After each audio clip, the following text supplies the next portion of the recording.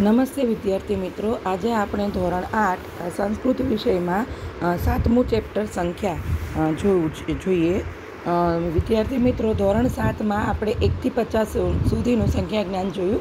હવે ધોરણ આઠમાં સો સુધીનું સંખ્યા જ્ઞાન છે એ આપણે જોવાનું છે. અહીંયા પાઠ દ્વારા આપણને છે એ સો સુધીના સંખ્યા જ્ઞાનનો છે એ નિર્દેશ કરવામાં આવ્યો છે. આપણે જોઈએ. અહીંયા બે મિત્રો છે, સુરેશ અને રમેશ, જે બજારમાં ફળ ખરીદવા જાય છે. તે બંનેની દુકાનદાર સાથેની, ફળ વેચનાર સાથેની વાતચીત છે, એ આપણે જોઈએ. સુરેશ, અહો રમેશ કુત્ર ગચ્છતિ અરે, રમેશ ક્યાં જાય છે? રમેશ એનો જવાબ આપે છે રિપ્લાય આપણમ ગચ્છામી. હું દુકાને જઉં છું. સુરેશ અહમ, અપી આગચ્છામી હું પણ આવું છું. રમેશ, ભવાનમ કિમ ક્રેયતો ઈચ્છતી? તું, ભવાન એટલે આપ થાય, પણ અહીંયા મિત્ર છે, એટલે કંઈ હમ ઉમ્ર હોય, એક સરખી ઉંમરના હોય ઉંમરના હોય, તો એ તું એના અર્થમાં કહી શકાય. તું શું ખરીદવા ઈચ્છે છે? સુરેશ એને જવાબ આપે છે અહમ ભલાની ક્રે તું ઈચ્છામી, હું ફળ ખરીદવા ઈચ્છું છું.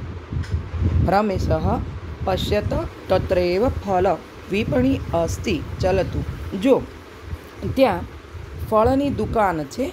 ચાલો, હવે એ ફળોની દુકાને પહોંચે છે. હવે એમના સંવાદમાં ફળ વિક્રેતા એટલે ફળ વેચનાર વાતચીતમાં જોડાય છે.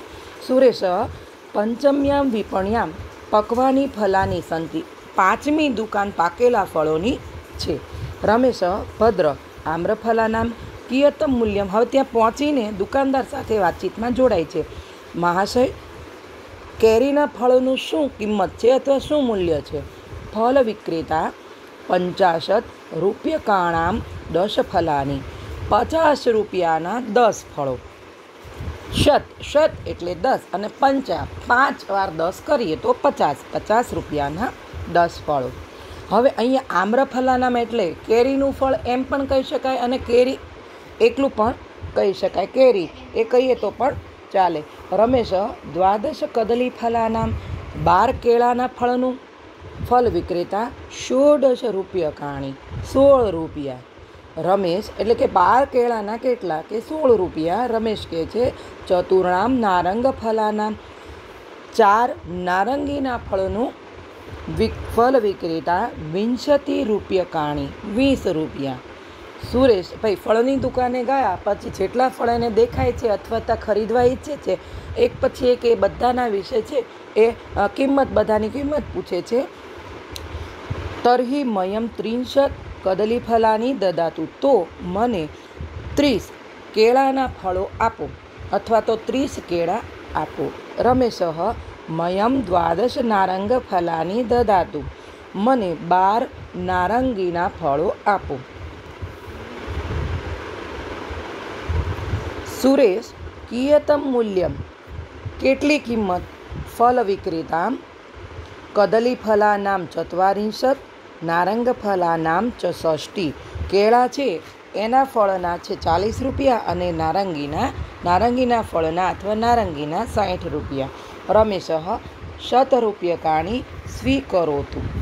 આ સો રૂપિયા સ્વીકારો, એટલે સો રૂપિયા લો એમ તમે. ફળ વિક્રેતા ભવતું. ભલે, હવે અહીંયા એ ત્રણેયની વાતચીત પૂર્ણ થાય છે. અહીંયા આપણને સંસ્કૃતમાં ફળોના નામ પણ મળે. ક્રમવાચક સંખ્યા પંચમ્યા એટલે કે પાંચમો ક્રમ છે. એ પણ આપણને મળ્યો એટલે કે ક્રમવાચક સંખ્યા અને સો સુધીનું સંખ્યા જ્ઞાન છે પણ સંસ્કૃતમાં મળ્યું છે. અહીંયા પાઠના સંવાદ દ્વારા પાઠમાં સંવાદ દ્વારા છે એ આપણને કોઈની સાથે દુકાનમાં કંઈ ખરીદવા જઈએ તો વાતચીત સંસ્કૃતમાં કઈ રીતે પ્રાથમિક ધોરણે કહી શકાય, કોઈ વસ્તુની કિંમત પૂછવી હોય, એનું પણ આપણને છે એ શીખવવામાં આવ્યું છે. અહીંયા આપણે, આ યુનિટ સાત છે, સંખ્યા એ એકમ છે, એ પૂરો થાય છે.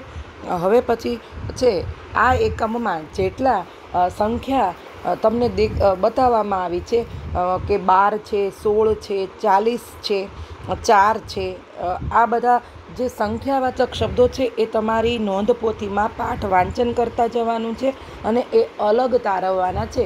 અલગ તારવ્યા પછી એની સામે ગુજરાતીમાં એ સંખ્યા છે એ તમારે અંકોમાં દર્શાવવાની છે.